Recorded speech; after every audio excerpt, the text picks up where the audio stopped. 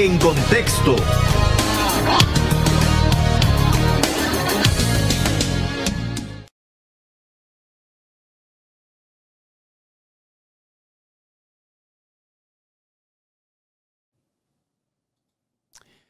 Antes de hablar de noticias, recordarles a ustedes que la invitación a que se hagan patrons, ¿verdad? www.patreon.com pleca con.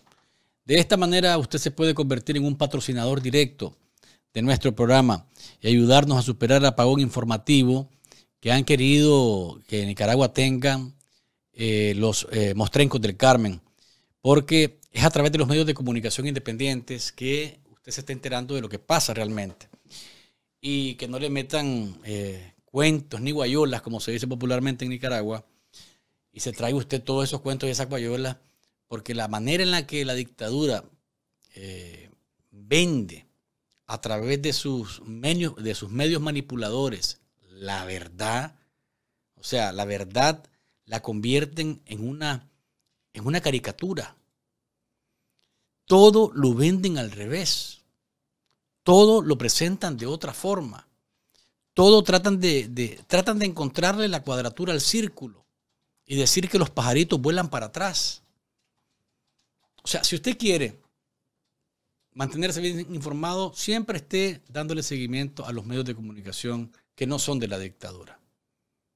Y eso es eh, Café con Vos y por eso les invitamos a que eh, esté con nosotros, no solamente en el programa, sino que también, eh, si puede y tiene los recursos para apoyar, pues también se vaya a www.patreon.com. A ver, ya me enredé todo. www.patreon.com pleca café con vos. Ahí encuentra la ruta para ser parte de nuestros Patreons y ayudarnos a superar esta decisión de la dictadura de eh, que no haya medios informativos eh, que ayuden a los nicaragüenses a saber lo que está pasando de verdad en nuestra querida y sufrida Nicaragua. Y también eh, recordarles que su sonrisa, usted debe cuidarla en Sweetwater Dental Clinic.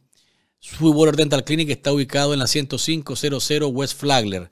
Ahí encuentra al doctor Maxwell Cárdenas y su equipo eh, marque el 305-223-7766 para hacer su cita y que cualquier problema que tenga con su dentadura sea resuelto. Limpiezas dentales, endodoncias, extracción de piezas con o sin porcelana.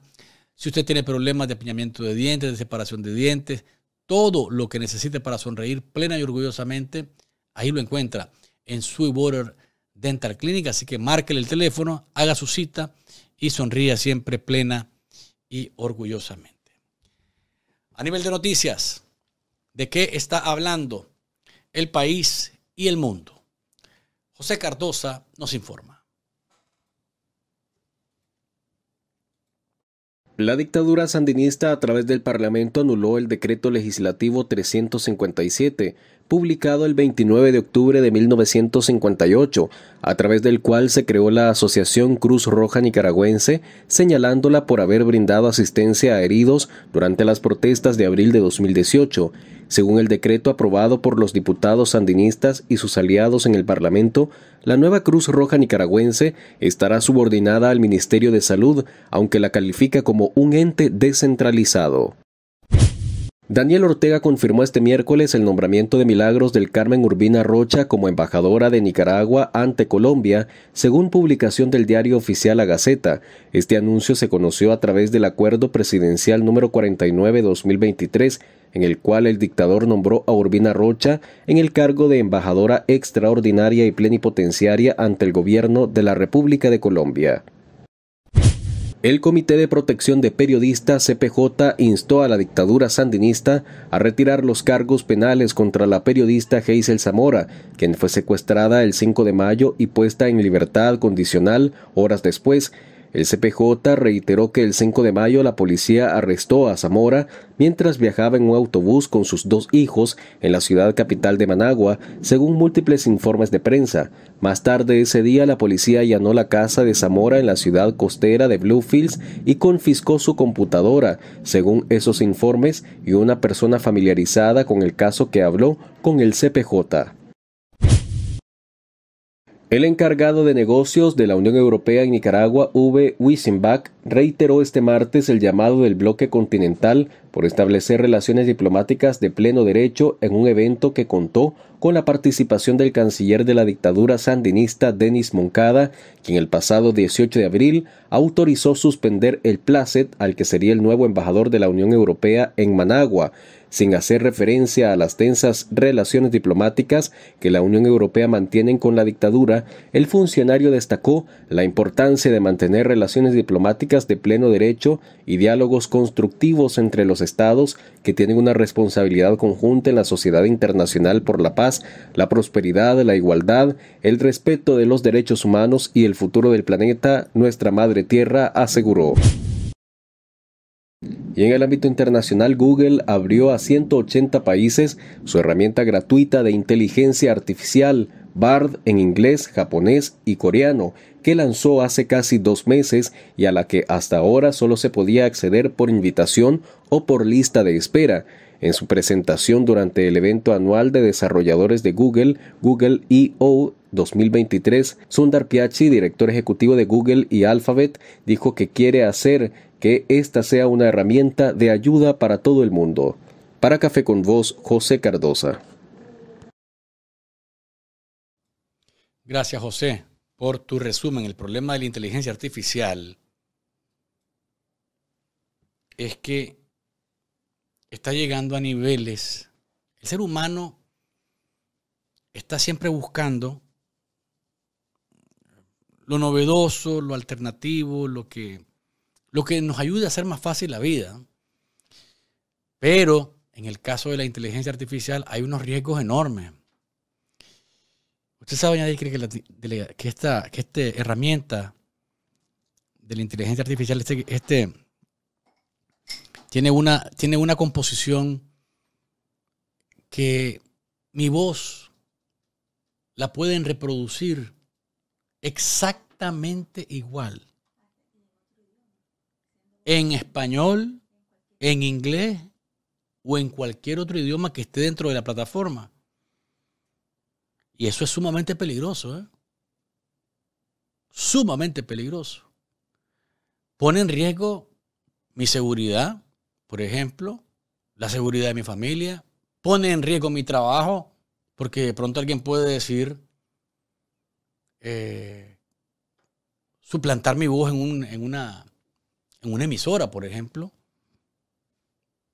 Y ahí está Luis Galeano hablando. ¿Mm? Vos le decís eh, al sistema de inteligencia artificial que te, que te, elabore un poema sobre un río y te lo hace. A lo mejor se hace un poema maravilloso. Y entonces uno dice, ¿y el poema de quién es? ¿Del quien lo pidió o de la máquina? Que está obedeciendo, el robot que está obedeciendo la, la orden creo que, y es ahí donde, uno dice, el ser humano sí busca cómo facilitar la vida, pero de repente, eh, de pasos en pasos, buscando una, vida más fácil, se nos complica un montón y la podemos poner en riesgo. Más adelante, si me da espacio, eh, voy a darles algunas listas, quizás al final del programa, las listas de los trabajos que están en riesgo con la inteligencia artificial. Porque sí es sumamente peligroso llegar a estos, niveles. Pero más adelante vamos a, ver si podemos hablar un poquito de esto. A nivel de noticias locales, aparte de lo que mencionaba José Cardosa en su resumen, Pablo Abrao, quien fue secretario ejecutivo de la, de la CIDH, emitió ayer eh, por la noche, después de conocer que la dictadura había inhabilitado como abogada y notario a la doctora Yonarqui Martínez, emitió este tweet que nos, debe parecer siempre eh, una fotografía muy acertada porque hace comparaciones sobre elementos que ya se creían en el pasado, de dictaduras del pasado. No, están presentes hoy, sí, en eh, Nicaragua, que está siendo eh, aplastada en todos sus derechos y en sus libertades por el Vetusto Ortega y por la, y por la patibularia Murillo. Veamos el tuit de Paula Bravo, que dice lo siguiente. Sin derecho a la defensa legal, en Nicaragua, las peores dictaduras del Cono Sur no osaron cancelar los títulos de abogados, defensores de familias y presos políticos. La Corte Suprema toma represalias contra la abogada Yonarque Martínez por hacer su trabajo con dignidad y valentía. Escuchen bien, para hacer mención de una de las más sangrientas y bestiales, ni Pinochet en Chile se atrevió, no cometió la osadía de cancelar títulos de abogados defensores y familiares de presos políticos. En Nicaragua, los mostrencos Ortega y Murillo hacen lo que les da la gana. Y en este mismo orden, el colectivo de Derechos Humanos Nicaragua Nunca Más emitió este pronunciamiento sobre la decisión de la dictadura de inhabilitar a la doctora Yonarque Martínez, una mujer más que comprometida con la defensa de los derechos humanos y sobre todo en la defensa de eh, decenas de secuestrados políticos del régimen del Carmen. Veamos el comunicado del colectivo de Derechos Humanos Nicaragua Nunca Más. Colectivo de Derechos Humanos Nicaragua condena la suspensión como abogada y notaria pública a la defensora de derechos humanos Yonarque Martínez por parte del régimen Ortega Murillo que utilice el sistema judicial para continuar violentando los derechos humanos de las personas eh, nicaragüenses. Lo resuelto por la Corte Suprema de Justicia carece de validez por cuanto es una decisión eminentemente política sin la motivación ni fundamentos jurídicos que toda resolución exige. En consecuencia, nula es dicha Corte porque desde hace años se apartó del derecho y del ordenamiento jurídico constitucional al someterse a las órdenes partidarias y a la voluntad eh, de la familia Ortega Murillo. La referida suspensión es además eh, o forma parte de, la sistémica persecución y más que una sanción es un castigo contra Yonarki por su calidad de defensora. Además, dicho castigo se anuncia precisamente a pocos días de que ella abogara públicamente a favor de las decenas de personas recientemente privadas arbitrariamente de su libertad. Desde el colectivo nos solidarizamos con Yonarki y demandamos el cese de los ataques sistemáticos contra ella, la persecución en contra de personas defensoras de derechos humanos y la libertad de todas las personas presas políticas en eh, Nicaragua, dice el comunicado del colectivo de derechos humanos Nicaragua, nunca más. Hoy, la dictadura decidió acabar con una historia de más de 60 años decidió la dictadura quitarle la personería jurídica a la Cruz Roja Nicaragüense, fundada o entregada esta, esta, esta personería en 1958. Imagínense ustedes. Dentro de los argumentos de la Asamblea Porcina está este va a ver en pantalla porque se fundamenta o uno de los eh, uno de los eh, considerandos que tienen para plantear esta decisión es que la Cruz Roja nicaragüense atendió a personas que fueron atacadas y heridas en 2018 por criminales, guardias sandinistas y por paramilitares. Este párrafo que van a ver de la, em, de la resolución es, eh, ya le voy a decir cuál es. Ok, incumplimiento. Acá está. Este es el párrafo. Incumplimiento del marco regulatorio de los organismos sin fines de lucro. Dice esto. La Asociación Cruz Roja Nicaragüense se rige por los principios fundamentales del movimiento internacional de la Cruz Roja y de la Media Luna Roja, entre los que se incluyen humanidad, imparcialidad, neutralidad. En los actos acontecidos en el año 2018 que atentaron contra la paz y la estabilidad de la nación, algunas filiales de esta asociación actuaron en contra de estos principios y de su acta constitutiva y estatutos. Y la asociación misma transgredió las leyes del país al, al desentenderse y hasta apoyar este actuar de sus filiales. Póngame por favor de nuevo en pantalla, doña Dickel. Los enutrios que trabajan para Ortega y Murillo, ahí en la, en la Asamblea Porcina, hacen alarde de estupidez con este tipo de argumentos, si es que se le puede llamar argumentos. Porque que yo sepa, hasta ahora, hasta ahora que yo sepa, la Cruz Roja atendió a todo el mundo que estuvo herido. No le preguntó a nadie si era de X o Y, de un lado o de otro.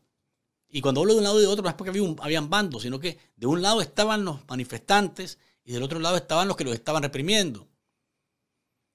Y como la dictadura, y lo dicen y lo han reconocido así los organismos de derechos humanos que han hecho trabajos de investigación sobre lo que ha pasado en Nicaragua, hubo gente que fue afectada del lado de la dictadura, heridos, que llegaron hasta la, hasta la Cruz Roja. Cuando afirman, y póngalo en pantalla por favor, doña Dickel, de nuevo esto, cuando afirman que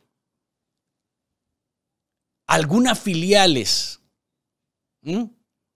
algunas filiales se desentendieron y hasta transgredieron la ley y se desentendieron y hasta apoyaron este actuar en el cual, según ellos, se, se violó la imparcialidad y la neutralidad. O sea, no existe un argumento real para ellos, es solamente que se le antojó. Es simplemente que se le antojó porque nuevamente, nuevamente, la Cruz Roja nicaragüense, que dicho sea de paso, pertenece a la Cruz Roja Internacional y por tanto sus logos y su fundamento jurídico tiene que ver con una eh, organización internacional cuya filial es la de nicaragüense en este caso. Nada, nada, doña Dickel, entonces qué? Entonces que le vale un pepino. Entonces, póngame ahora el, el el, maravilloso tweet eh, en donde anuncian de que ya se acabó la Cruz Roja nicaragüense y, y aparece otra Cruz Roja. Ahora dicen ellos que sí cumple con los requisitos. O sea, lo que cumple con los requisitos es obedece a los lineamientos de la dictadura de la A a la Z. Póngame, por favor, doña Dickel. Dice, aprueban creación de la Cruz Roja Nicaragüense como ente autónomo. ¿Autónomo de qué? No, doña Deikel. Si yo digo que autónomo a Ortega, estoy dándole la razón. Un ente autónomo es un, ente que, camina solo, que tiene, tiene eh, dirección administrativa propia, descentralizada, que nadie la está. Eso es lo que dice eso es lo que dice ese documento. Pero, no, pero por eso, por eso. Pero pregunto, ¿alguien cree que la, esa nueva Cruz Roja, póngame ahora el párrafo donde dice específicamente la creación, dice que es un ente autónomo descentralizado? No. Créase, créase la Cruz Roja Nicaragüense como ente autónomo descentralizado, con personalidad jurídica, patrimonio propio, duración indefinida y plena capacidad para adquirir derechos y contraer obligaciones, que será sucesora legal sin solución de continuidad de la Asociación Cruz Roja Nicaragüense creada en 1958. ¿Autónomo de qué? ¿Descentralizado de qué? Si los lambiscones que van a ser nombrados ahí para estar al frente obedecen a Ortega y Murillo, no hay autonomía ni hay descentralización. Por el contrario, obedecen perrunamente a lo que el dictador y su patibularia consorte les ordenan. Es una hipocresía completa. Y aquí viene la otra parte que es el robo. Este es el robo, el, el robo legalizado, ordenado por Ortega y Murillo y legalizado a través, entre comillas, de la Asamblea Porcina. Todo el patrimonio, todo el patrimonio, bienes, y acciones que a la fecha pertenezcan a la asociación nacional llamada Cruz Roja Nicaragüense pasarán a ser propiedad del Estado.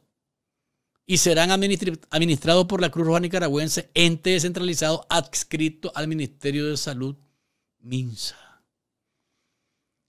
Es decir, este parrafito que ustedes ven es el robo. O sea, en el artículo 3 debería decir el robo, porque este es un robo, otro robo, otra confiscación. Es decir, traspaso de bienes es una manera solapada de decir, esta es la manera en la que nos robamos las cosas en Nicaragua nosotros. Pero es, una, eh, eh, es algo que no, parece una broma, ¿no? Y causaría risa si no fuera cierto. Pero es cierto. Y aunque la Cruz Roja hace un tiempo para que venía ya prácticamente obedeciendo, eso no, no le significó a quienes estaban ahí trabajando, no le significó eh, que se mantuviera tal cual esta asociación como venía, como venía eh, haciendo su trabajo desde 1958. Estamos, amigos y amigas, ante una situación verdaderamente escandalosa. Ni siquiera la Cruz Roja, ni siquiera la Cruz Roja nicaragüense se les escapó. Es impresionante. No sé, después de esto no sé qué más, qué más se pueden inventar. Se roban a la, se roban, se se roban los monasterios, se roban las iglesias, se roban las universidades y lo que hay en ellas, ¿eh? porque no solamente el, bien inmueble, sino lo que hay en ellas, los vehículos, las computadoras, todo lo que hay, todo lo que hay dentro de esos bienes inmuebles, eh, se, lo, se roban. Se han robado organismos no gubernamentales, se han robado medios de comunicación. Ahora se roban la Cruz Roja. Uno dice, ¿qué es lo que le falta robarse a estos malandrines, a estos delincuentes? Faltan los bancos. Faltan los bancos. Pero para robarse los bancos tienen que pensar, y esto no, le, estoy dando ninguna, no le estoy dando ninguna idea, ya lo tienen concebido eh, tienen que saber que una vez que dan ese paso hacia adelante, se quedan sin filiales internacionales, sin, sin eh, bancos internacionales. Y es por eso que a lo mejor no lo han hecho, pero robarse los bancos tienen ganas hace rato de robárselo. ¿ah? Y lógicamente que lo que está dentro de los bancos, definitivamente. Pero se han robado todo. No, pues las iglesias no se las... A ver, ya se robaron un monasterio, la curia episcopal de Matagalpa creo que le andan un hambre, pero, pero, pero feroz. Porque es un edificio muy bonito. Por dentro es una cosa maravillosa. Según decía eh, el mismo obispo Orlando Álvarez, cuando la recibió de manos del obispo eh, Jorge Solórzano, un edificio lindísimo. Pero se han robado todo. Se han robado todo. Es impresionante lo que, de lo que somos testigos. Y eh, no sé qué tanto irá a ser un trastorno para la Cruz Roja Internacional esto. No creo que tanto, porque hace como un año, un año exactamente, en marzo del año pasado, un año, un mes, dos meses, le expulsaron a su representante de Nicaragua a la Cruz Roja Internacional y parte sin novedad. Uno diría, se van a molestar y van a reclamar. No reclamaron nada. Nada, solo lamentamos la decisión de la dictadura. Entonces ahora van a lamentar la decisión de que la Asociación Cruz Roja Nicaragüense, que trabajaba desde 1958 como un ente al servicio de la comunidad, pues van a decir que es lamentable, pues, lamentan. Ahora, ¿quién pierde con todo esto? El pueblo de Nicaragua porque la Cruz Roja atiende al pueblo nicaragüense y sobre todo a, la, gente que tiene menos recursos. ¿Quién pide una, una, ambulancia por la que puede dar un pago simbólico o no pagar? El pobre nicaragüense que no tiene para, para pagar un taxi o para pagar una ambulancia que lo traslade de su casa a un centro asistencial para atender su salud en una emergencia. ¿Y, por qué digo? No estoy diciendo que, la dictadura no, no va a atender a la gente, pero estoy diciendo que la, dictadura sí va a ser selectiva. ¿Quién es el que está enfermo? El papá de fulano, tal que es. Este que está. Dígale que no hay ambulancia. Dígale que no hay servicio. Porque así son sectarios. Son sectarios y son son sectarios y son mezquinos. Terriblemente mezquinos. Van a preguntar en el barrio, ¿y tiene carnet del, partido? ¿Es, militante o no es militante? Ah, no es militante. Pues que busque entonces quién lo lleve al hospital. Pues que, lo, pues que busque quién lo atienda. Porque aquí atendemos a los que respaldan este proyecto dictatorial. Punto. Entonces, quien pierde más, ¿y quiénes son? ¿Quiénes son la mayoría de los nicaragüenses? Los que rechazan a la dictadura. Esa mayoría de los nicaragüenses está ahora abierta a que haya ese tipo de, respuestas. ¿Por qué? Porque no sos sandinista, porque no sos eh, compañero, porque no sos militante porque sos golpista, porque sos terrorista, porque sos tranquilo, lo que querrás simplemente no te van a atender. Y acuérdense bien, o sea, aquí yo no estoy hablando eh, ni porque se me ocurre, ni porque hay argumento y hay fundamento para hacer estas afirmaciones. ¿Quién fue la que ordenó que no atendieran a Alvarito Conrado en Cruz Azul? Una asesina que se llama Sonia Castro. ¿Quién fue la que ordenó que despidieran a cantidad de médicos que atendieron a heridos en las protestas, pasando por encima de esa orden porque el médico que se respeta a sí mismo y es un profesional y cumple con su juramento hipocrático, se, desentiende de una orden que es una, es una orden inhumana, cruel y además es un delito de lesa humanidad. Ordenarle a los médicos que no salven vidas, eso es un delito es un crimen de lesa humanidad. Y eso lo hizo Sonia Castro, que ahora es asesora de Ortega en temas de salud, sancionada casualmente por criminal. Si, es si fue capaz de hacer eso en el momento más álgido de las protestas, pues entonces como esta nueva Cruz Roja, Cruz Roja y Negra, esta nueva Cruz Roja y Negra entonces está adscrita al MINSA. En el MINSA está una señora que hace una títere, que hace el papel de, ministra, pero quien, la que sigue actuando con influencia directa por órdenes de Murillo es Sonia Castro. Y si esta Cruz Roja y Negra está afiliada al MINSA, pues entonces usted saque por la víspera cómo va a ser el día. Así de sencillo. Así de sencillo. Es el pueblo de Nicaragua, el más pobre, aquí está, ¿eh? Esta, así es ahora, Cruz Roja Nicaragüense, Cruz Roja y Negra. Cruz Roja y Negra. A lo mejor, yo creo que sería lo más adecuado. Sería lo más adecuado porque esa es la realidad. Y además, el logo no le pertenece a la Cruz Roja Nicaragüense, ese logo. Le pertenece a la Cruz Roja Internacional. Pero como les digo, la Cruz Roja Internacional, que acuérdense ¿Por, qué yo hago esta crítica a la Cruz Roja Internacional? Porque cuántas veces se le pidió que, que constatase el estado de los secuestrados políticos en las cárceles y nunca, nunca supimos ni siquiera un intento, porque uno dice, mira, lo intentaron. Les dijeron que no. Lo intentaron y les cantaron cero. No pasó eso. O que nos desmientan. Aquí está las veces que pedimos y nos dijeron que no. Nunca lo yo no lo he visto. pues. Entonces, que la dictadura se va a quedar con el mismo logo y nadie va a reclamar. Nadie tampoco se puede sorprender de eso. Nadie se puede sorprender de eso.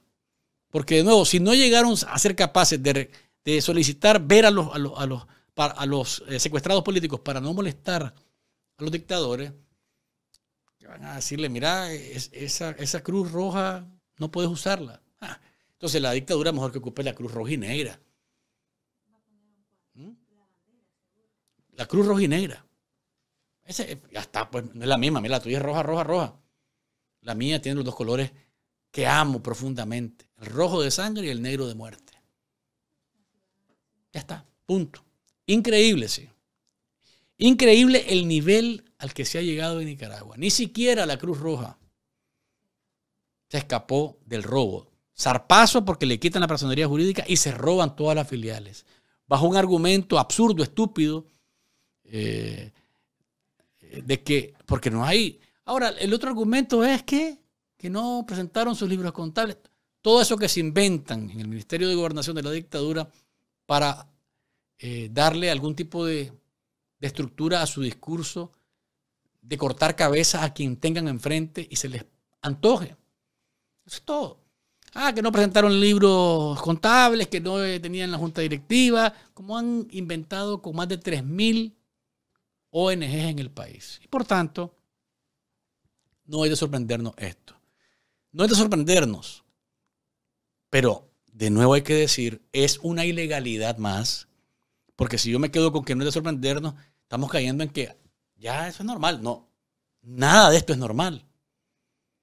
Ningún despojo, ningún robo, ninguna confiscación, ninguna violación a la ley es normal. Ninguna. Y tenemos que resaltar que esta dictadura es campeona, es campeona mundial, no, es campeona galáctica. Si existe algún, si existe vida en otra galaxia, no creo que pasen estas cosas que pasan en un país tan pequeño situado en el centro de las Américas que se llama Nicaragua. Campeona galáctica de limpiarse con lo que dice la ley y la constitución. Pero hay que seguirlo denunciando, hay que seguirlo diciendo, hay que seguirlo eh, machacando porque eso les duele y les duele lo más profundo que nosotros tengamos. Porque el cuento que te tiran es que ahora la Cruz Roja Ahora el pueblo sí tiene Cruz Roja. Ay, mire a uno de los imbéciles que agarran micrófono y se ponen delante de un teléfono a mostrar su estolidez, hacer afirmaciones de este tipo. Ahora sí el pueblo tiene Cruz Roja. o sea, a ver, uno se rasca la cabeza y dice, ¿y este gamborimbo qué cree? ¿Que la gente es tan idiota como él. Pero a ese punto llegan. A ese punto llegan a decir que ahora el pueblo sí tiene. Tiene Cruz Roja, que antes no tenía Cruz Roja.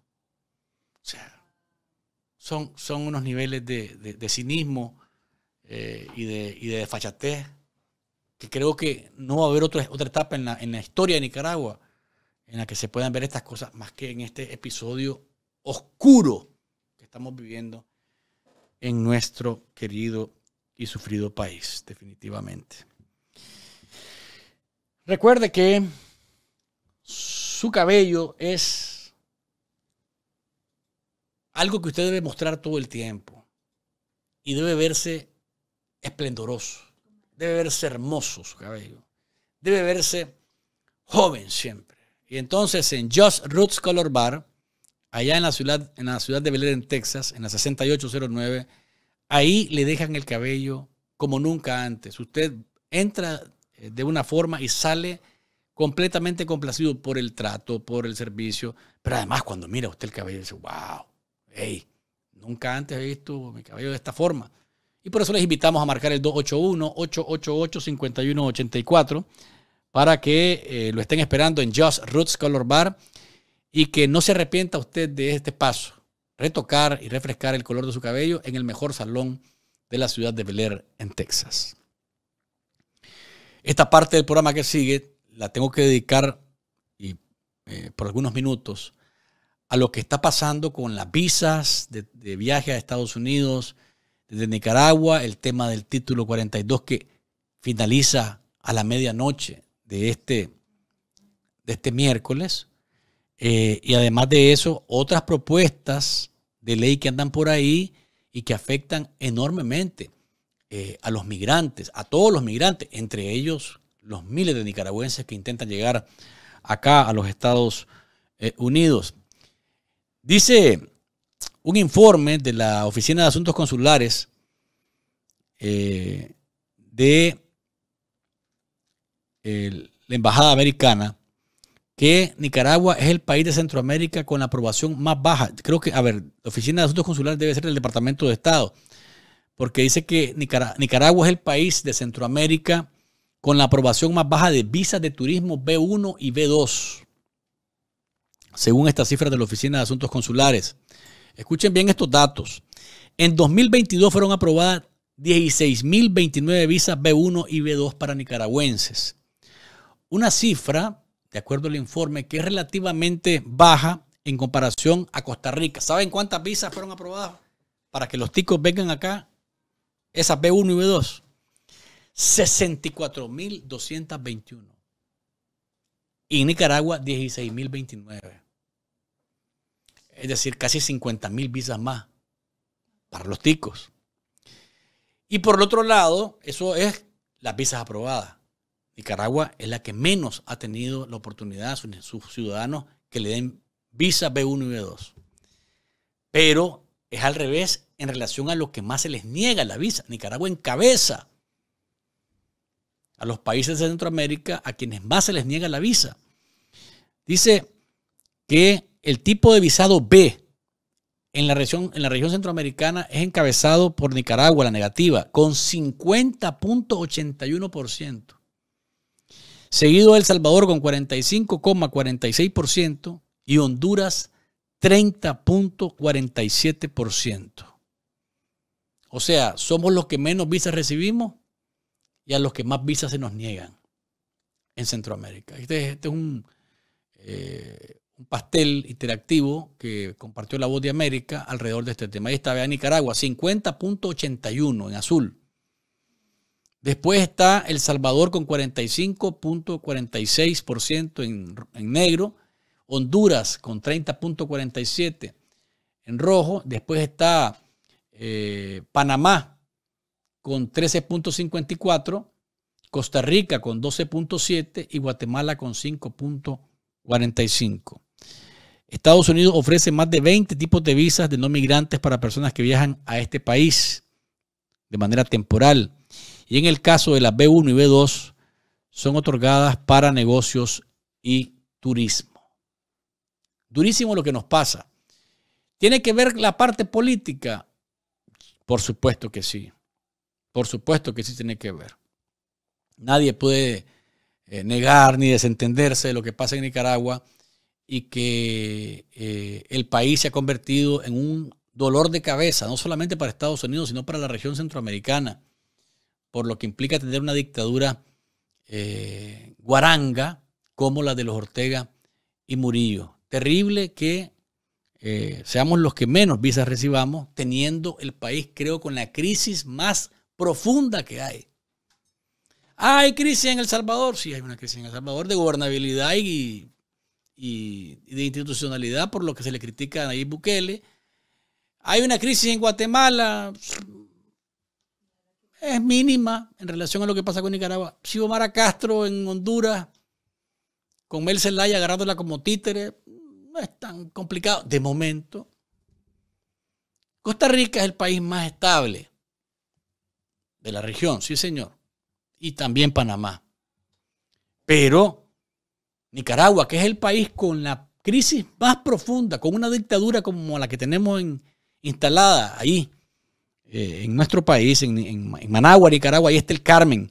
Y desde ese lugar se emiten órdenes para acabar con todo aquel que sea opositor y que no haya el mínimo vestigio de oposición. Este país que sufre las consecuencias de esa crisis, de esa persecución, es el que menos visa recibe de acuerdo a los datos de la Oficina de Asuntos Consulares del Departamento de Estado. Sí, señor. 16.029 visas B1, B2, comparados con Costa Rica, que de nuevo, no es que estoy diciendo que los ticos den menos, menos visas, pero Costa Rica no tiene la crisis que tiene Nicaragua. Y Costa Rica recibe 64.221 visas, casi 50.000 visas más. Qué terrible, ¿no? Qué dura realidad la que nos está tocando vivir. Y a esto se suma esta iniciativa una propuesta legislativa de eh, altos representantes del Partido Republicano acá en Estados Unidos, que han presentado esta propuesta legislativa HR2, que es una iniciativa que elimina el asilo político y que también pretende acabar con la reunificación familiar del parol humanitario. Escuche bien esto, ¿eh? durísimo. La ley HR2 es una propuesta que incorpora, y hay carteles que han estado compartiendo en redes sociales, eh, la, diáspora, la diáspora nicaragüense acá en Estados Unidos, que indican que la ley HR2 es una propuesta que incorpora la desaparición del parol humanitario y que hace énfasis en, eh, que la reunificación familiar es un derecho humano. Por eso es que el reclamo es válido en este momento y es más que oportuno, porque si esta HR2 pasa, simplemente eh, el asilo político para los nicaragüenses se acaba eh, de plano y el paro humanitario también se frena y es por eso que hay una campaña eh, acá de parte de la diáspora haciendo conciencia de, póngame por favor el cartel que tiene la explicación, doña Dicker. Esta propuesta que incorpora la desaparición del paro humanitario y el acceso a aplicar asilo político a quienes ingresan de forma irregular por la frontera sur de Estados Unidos. La migración es una realidad y un derecho humano. Las medidas restrictivas pondrán en riesgo a familias enteras que luchan por reunirse y que habían encontrado en el parol una medida legal y segura. El presidente Biden ha indicado que va a vetar esta ley si pasa, que va a vetar la ley si pasa, porque eh, él prefiere que quien quiere entrar a Estados Unidos lo haga de manera legal y sobre todo los nicaragüenses, los venezolanos, los cubanos y los haitianos a través del paro humanitario. Y que el asilo político sigue siendo, y que, el asilo político siga siendo una opción por medio de la cual eh, quienes llegan a este país puedan eh, obtener un abrazo institucional de este país. Así que eh, menos visados y amenazados también por iniciativas legislativas como esta HR2 propuesta por legisladores republicanos. Y a esto se suma eh, el fin del título 42. Este argumento jurídico, esta ley que le permite a cualquier autoridad expulsar a un migrante de la frontera aduciendo que por el tema de la pandemia no pueden entrar, por temas de, por temas de orden sanitario, ¿verdad? Esto ha provocado el anuncio de que el, título 42 termina a la medianoche de este eh, miércoles, ha provocado que miles de migrantes de todas las naciones que pretenden llegar acá a los Estados Unidos estén ahí, a la orilla de la frontera, o estén tratando de entrar desde ya, porque fuera del título 42, el título 8, que es el que quedaría eh, en vigencia, las cosas se ponen muy complicadas. El mismo presidente Biden dijo ayer que cree que será caótico por un tiempo el asunto de la frontera con el fin del título 42. Veamos la nota de France 24. Para estos migrantes, los días previos al fin del título 42 se viven entre la incertidumbre y la esperanza. Cientos de ellos permanecen varados en la frontera entre Estados Unidos y México. Esperan que el fin de la polémica medida les permita cruzar hacia la Unión Americana pero la situación podría salirse de control, según las autoridades. Va a ser caótico durante un tiempo y como planteé en la reunión cuando hablaron de recortes, de no gastar dinero, ¿qué demonios pasa si recortas? ¿Vas a recortar agentes en la frontera? Necesitamos más en la frontera, no menos en la frontera. Biden y su homólogo mexicano Andrés Manuel López Obrador hablaron este martes acordaron que ambos gobiernos colaborarán en materia migratoria. Las ciudades fronterizas ya están en alerta. La situación aquí, como ustedes ven, de más de mil personas fuera de la parroquia y todos los albergues ya llenos a reventar, pues es una situación de crisis humanitaria, ¿cierto? Eh, no solo crisis migratoria, sino crisis humanitaria, donde vemos que muchos de nuestros hermanos y hermanas migrantes pues están quedando en la calle durmiendo a la intemperie, con una sola comida al día muchas veces. Y dentro de Estados Unidos, la situación lleva incluso a urbes lejanas a tomar medidas. Hemos visto en las últimas dos semanas un nuevo aumento de migrantes que llegan a diario. Por eso hoy emitimos una declaración de emergencia para responder a la llegada de migrantes.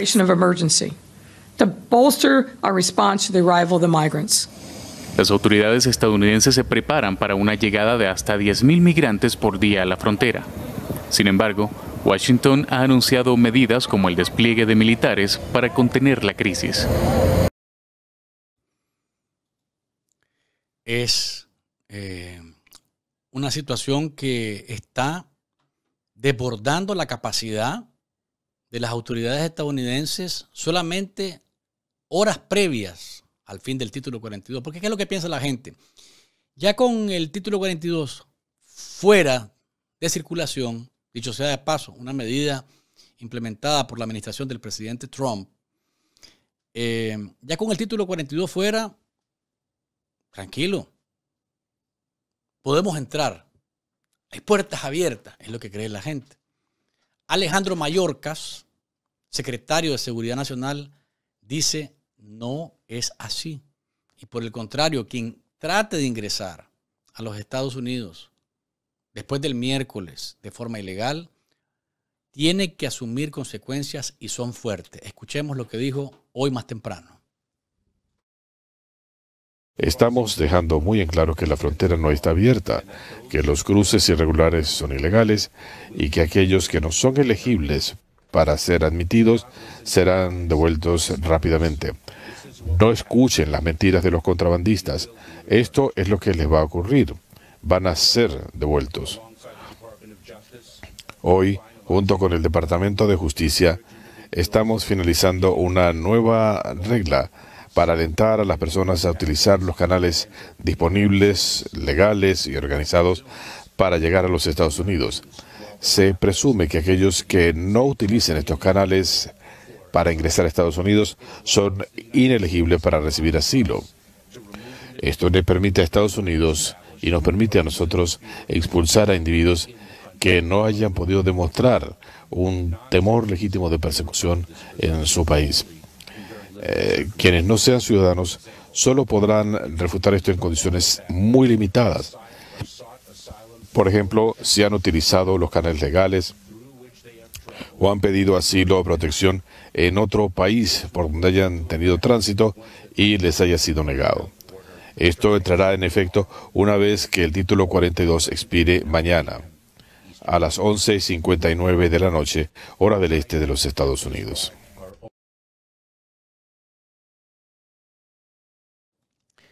Clarísimo, no está abierta la frontera. Entonces, ¿qué significa arriesgarse a llegar y pasar la frontera a partir de las cero horas del jueves?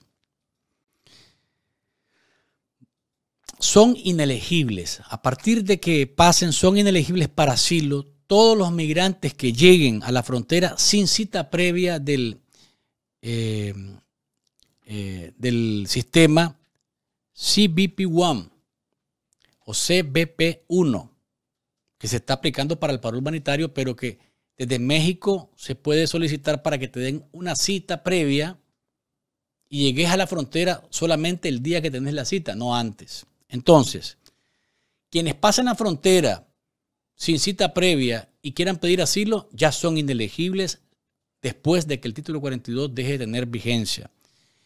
Y además de eso, quien quiera obtener asilo político acá en Estados Unidos debe haberlo solicitado en un tercer país antes de llegar acá. Ese tercer país, lógicamente, es México. Y tiene que haber obtenido o una negativa o estar en proceso, pero demostrar aquí que solicitó el asilo político. Entonces la situación se, se pone complicada. Y uno mira imágenes que son enternecedoras, como la de este niño, Luis Pineda, es venezolano, llegó con su familia hasta la frontera a entregarse eh, con su núcleo familiar y esto es lo que piensa sobre su llegada a Estados Unidos y por qué no está en Venezuela. A ver, ¿tu nombre? Luis Pineda. ¿Cuántos años tienes? Diez. ¿De dónde eres? Venezuela. ¿De qué parte? Maracaibo. De Julia. Maracaibo. Estás acostumbrado al calor. Sí, en realidad a nuestro estado le dicen estado del Fol. Fol amado. Ajá. ¿Y qué más dicen de tu estado? Es bonito, yo digo que es bonito. Somos, éramos demasiado ricos, pero como el presidente que no sirve para nada que tenemos ahora, no sirve para nada, bueno, ahora somos más pobres que la pobreza. Bueno, si, si, si, no, si no tuviera ese presidente, ninguno de los venezolanos que estuviéramos aquí estuviéramos aquí, ¿verdad? culpa del presidente en realidad. ¿Qué venimos a hacer los venezolanos? Lo que venimos es mm, a ganar dinero. A ganar dinero y a ganar una mejor vida para los, pa, los hijos, para los hermanos, para toda su familia. Cuenta, Luis Pineda, y dice grandes verdades. Es un niño como 10 años, más o menos. Podría creer yo que es como Andrés Fabián. Eh, y eh, muy claro de lo que pasa en su país Llegó hasta la frontera con su familia y así están miles, creyendo que al dejar de estar en vigencia el artículo 42 o el título 42, ya pueden entrar y entonces las cosas se, se, mejoran para ellos. Por el contrario, las medidas que están anunciando el presidente Biden, el secretario Mallorcas, son eh, durísimas. Y es lo que hace pensar a uno ¿Qué diferencia hay entre Biden y Trump más allá del discurso? Ah, que Trump era más, más desbocado y más eh, boca suelta, más locuaz para hablar en contra de los migrantes. Eso es una cosa ciertísima y nadie la nadie la puede negar. Pero en acciones, las cosas no están muy, no están cambiando mucho. ¿eh? ¿Cuál es la diferencia? Y aquí viene para que ustedes vean más o menos por dónde la cosa, entre esto que va a pasar en las próximas horas en las fronteras, que van a devolver a cantidad de gente y le van a decir, ¿sabes qué? En cinco años no puedes venir a pedir asilo aquí otra vez. No se te ocurra. Tenés que pedir cita previa, tenés que haber pedido asilo en otro país, en un tercer país, antes de llegar acá, como dos de las medidas más fuertes.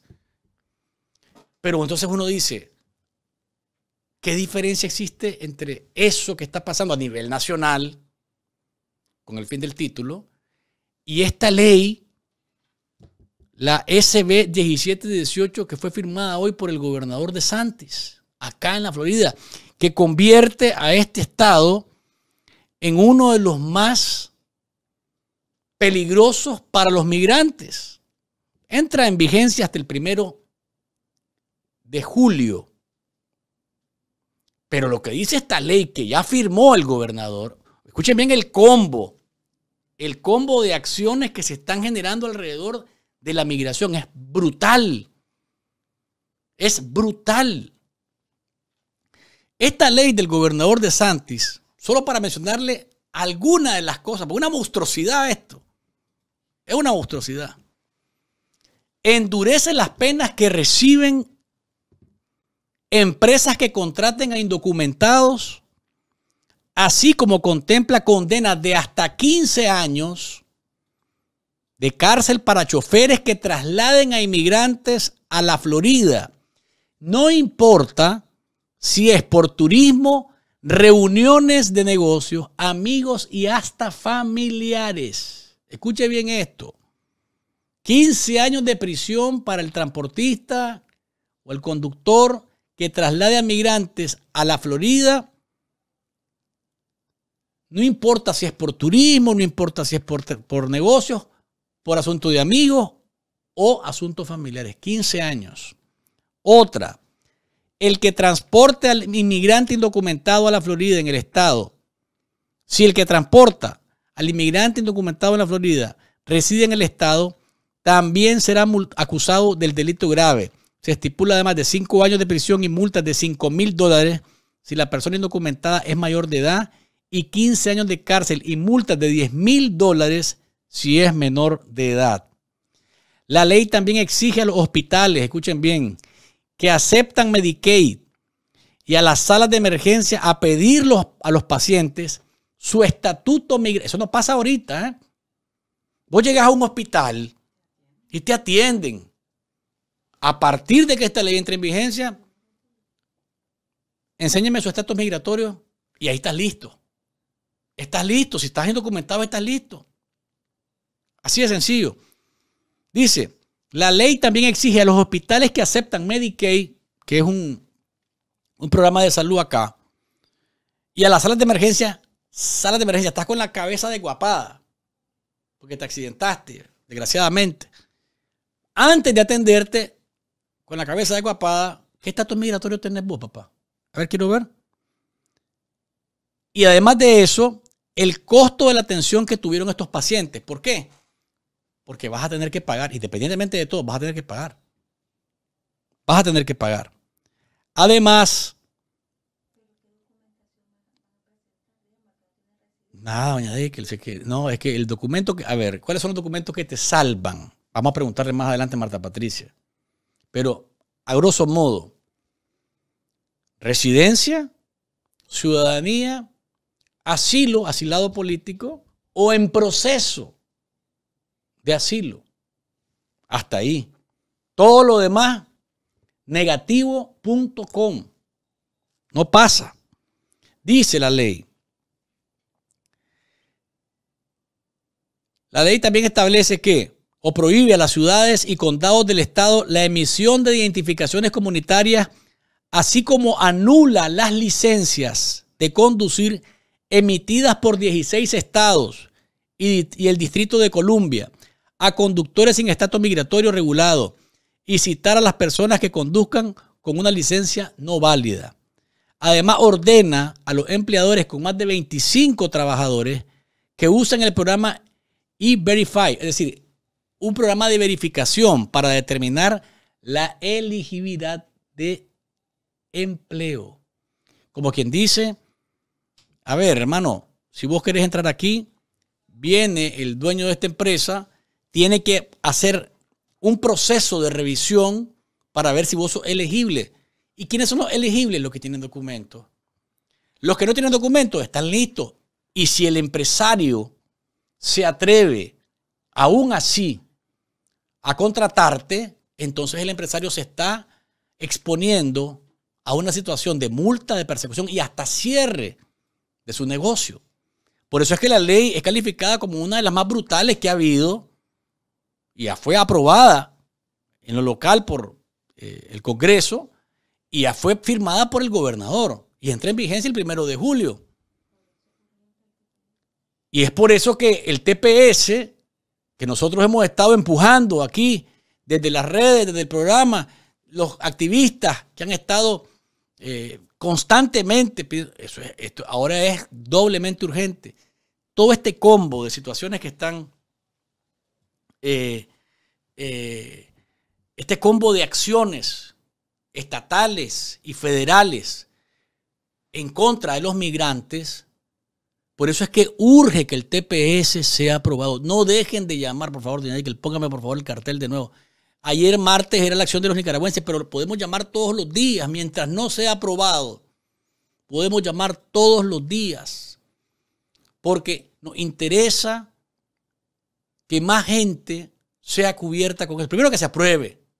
Aquí está, de nuevo, este es el teléfono, 1 888 427 0484 o si vas a hacer un texto, ahí tiene también la dirección a la que puede enviar texto. Nosotros lo hicimos y lo atienden muy amablemente y escuchan la petición que hace uno. Es tan sencillo como decirle, queremos pedirle al presidente Biden que apruebe un TPS para Centroamérica y particularmente para Nicaragua. Miles de nicaragüenses huyen de la represión de la dictadura de Daniel Ortega y necesitan tener un estatus de protección temporal. Por favor, apruébenlo. Y la persona te recibe la llamada y apunta eh, lo que vos estás eh, indicando y lo hace pasar. Lo que pasa de nuevo, lo que ocurre de nuevo, es que nosotros estamos, lamentablemente, acostumbrados a que no nos escuchen. O creemos que no nos escuchan. O creemos que eso es pérdida de tiempo. Llamar a una oficina de un presidente de un país. Porque lo que, la llamada al número que aparece en este cartel, en este cartel, perdón, es a la Casa Blanca. Y alguien en la Casa Blanca está recibiendo las llamadas telefónicas. Por favor, marquen. Por favor, escriban. Esto que está pasando alrededor de los migrantes es una cosa que nosotros no podemos mantenernos distantes de ello. Tenemos más bien que empujar todo lo que sea, todo lo que se aparezca y nos ayude a los nicaragüenses a tener más protección aquí, pues tenemos que darle. Tenemos que darle y con todo, con todo lo que podamos, con llamadas, con texto, con todo lo que podamos, con plantones, con manifestaciones. Tenemos que hacerlo, porque lo que les acabo de decir, toda esta noticia que les acabo de decir, que tienen que ver con migración, con visas, con leyes, con el fin del título y con las advertencias de que no va a haber, no, van a ser implacables con esto, me parece que hay que empujar y con más fuerza ahora. Dígame, doña.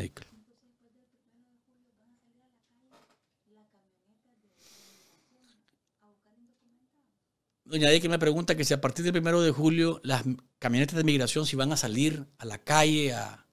Yo no sé qué van a hacer, pero tienen todas las herramientas para ser redadas. Y he escuchado a familias muy preocupadas Y probablemente en la Florida salga muchísima gente hacia otros estados. Porque esto es brutal lo que se viene. Dice libertad para Monseñor Álvarez. De mi pueblo la mayoría que se van son eh, frentistas. Y se refiere a que mucha gente está viniendo y eso es, eso, es innegable. Lo que yo sí creo es que si tenemos los elementos, y a ver si mi amigo que me está siguiendo por acá, eh, de martes a jueves, son las llamadas eh, para pedir TPS. Pónganme el cartel de nuevo. Yo creo que es importante que lo miren otra vez. Miren, esto no es inútil. Esto no es, no es, no se ve en saco roto. Esto es muy importante. Y esto que está pasando en este momento,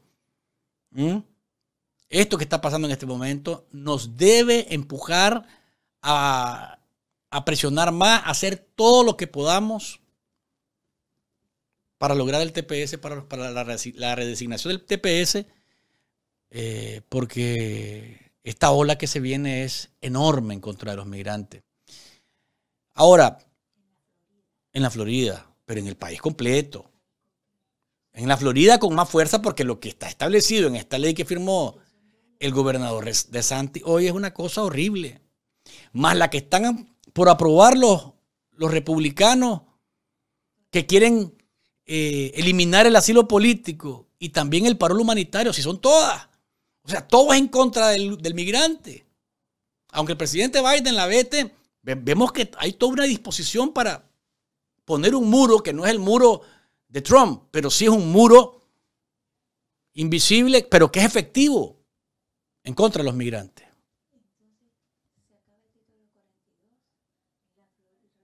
Se acaba el título 42 y queda en vigencia el, título 8, que no es nada amigable.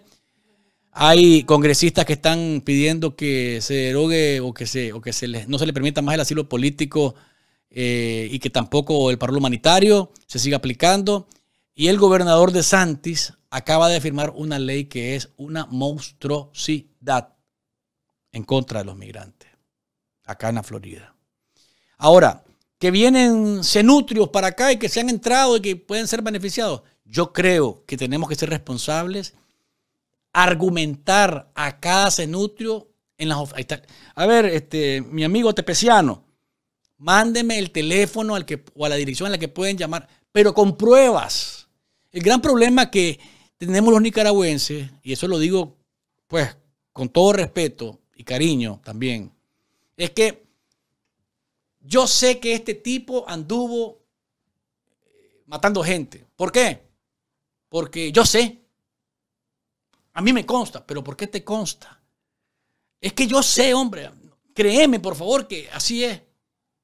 A ver, te creo, pero ¿cómo hago para argumentar, para documentar y para demostrar ante las autoridades de Estados Unidos que lo que me estás diciendo así es? Yo te creo a vos, pero ellos no me van a decir, hey, ¿ves qué lindo? No, tenés que documentar, argumentar, fundamentar lo que estás diciendo. Y sabemos que ha venido, pero cantidad, cantidad de anuros acá.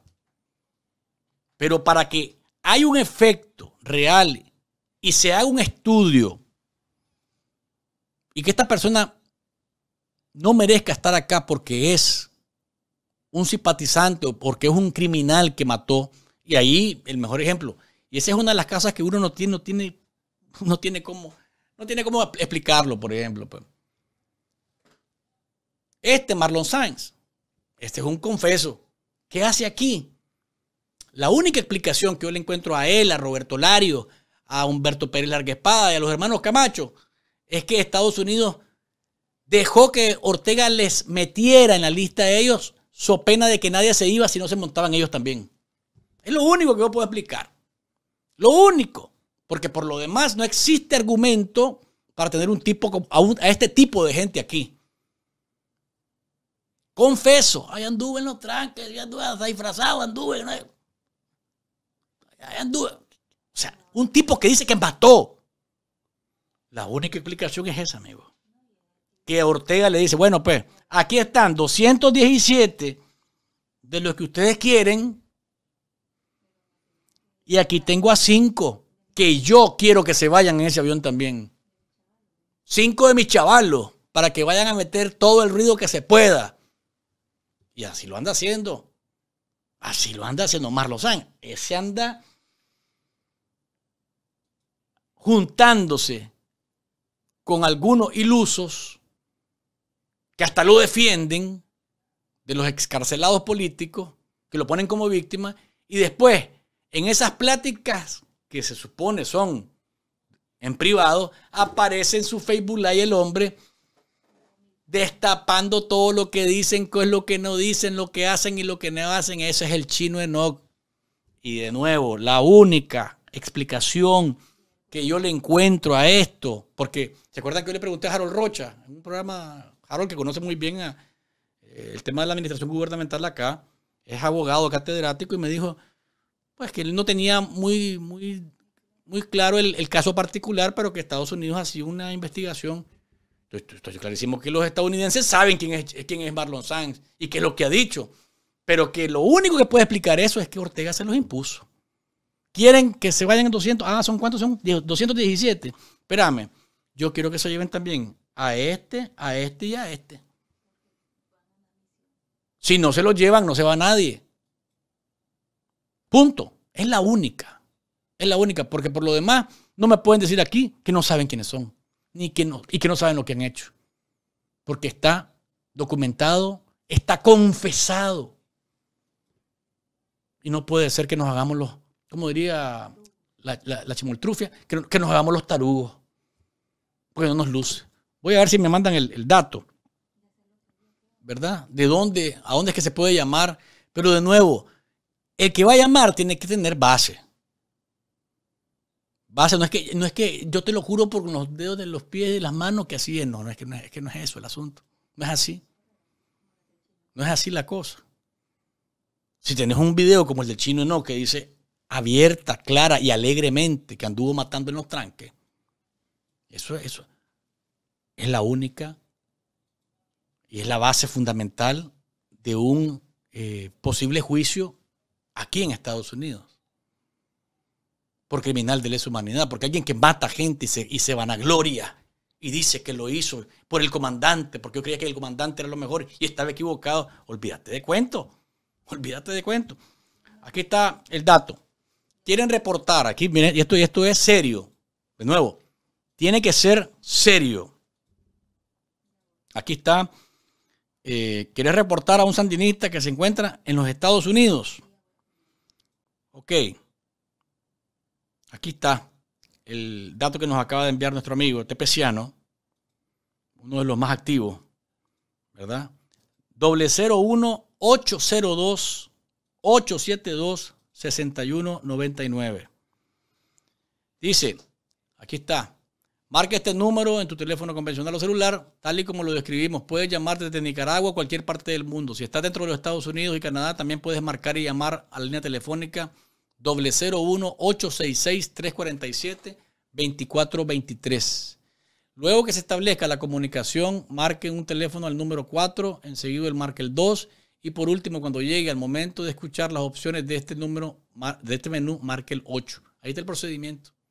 Ahí está el procedimiento, pero de nuevo, háganlo con pruebas. Dice, a continuación espera un momento hasta que un agente del ICE le atienda en ese instante, manifiéstele que solo hablas el idioma español, luego espere un momento en la línea y listo. Un traductor le asistirá para que haga efectivo su reporte en español. Punto. Ahí está. Ahí está el camino. Con pruebas. Con pruebas. Documentales, reales, no que me que yo te lo juro, te lo, te lo, te lo juro, de rodillas, que ah, no, eso no, eso no, no, sirve para nada aquí eso, para nada sirve eso. Bien, antes de tirar la pausa y venir con la doctora Marta Patricia Molina, con quien hablaremos de la iglesia, pero también hablaremos del tema migratorio, porque ella está trabajando con temas de migración acá, eh, en el estado en el que se encuentra, con organizaciones y tiene mucho conocimiento de lo que está pasando y qué puede pasar y qué se puede hacer. Así que quédese con nosotros. La familia Multiservice de North Miami es su mejor opción para resolver diversos problemas en un mismo lugar. Sí, señor. Reparación de crédito, notario público, compra de casas, venta de casas, renta de casas, asuntos relacionados con el paro humanitario. Eh, este es el tema de migración que puede ver la familia Multiservice con sus especialistas. Además de eh, envío de carga puerta a puerta a Nicaragua, seguro de vida, seguro de auto, seguro médico, seguro de casa, también lo encuentra en eh, la familia Multiservice de Miami y los taxes cuando toca la temporada. Los teléfonos están ahí. Ahí están los teléfonos. Múltiples respuestas a múltiples problemas en la familia Multiservice de North Miami. Sígale dando me gusta a Café con Voz, el saborcito de estar informado. Y eh, ubíquenos siempre dentro de los más vistos, más gustados en redes sociales y plataformas digitales. Pausa comercial y volvemos con la doctora Marta Patricia Molina.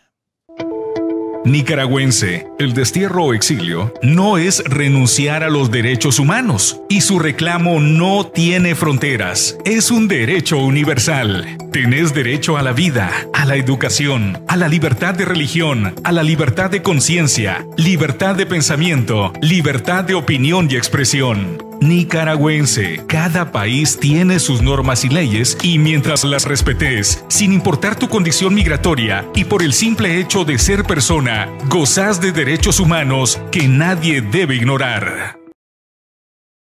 Hola amigo, ¿quieres estar informado? Suscríbete al canal de Café con Voz Nicaragua y toca la campanita, denle like a todos sus programas y recuerden que no hay mañana sin café. Las mañanas son mejores cuando estoy pensando en vos. Cada día es diferente si puedo escuchar tu voz. Pero no puede faltar ese ingrediente. Porque es rico probarlo junto a vos. Un buen café. es café con vos es café con vos.